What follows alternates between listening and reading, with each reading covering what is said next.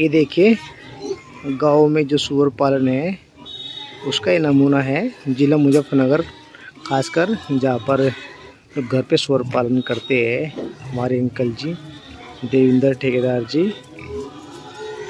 ये देखिए, अभी इन्होंने खाना खा लिया है, अंदर जहाँ पे थे, वहाँ पर खाना खा रहे थे। और अब ये थोड़ा फ्रेश हो गए, डेफिकेशन प्रोसेस।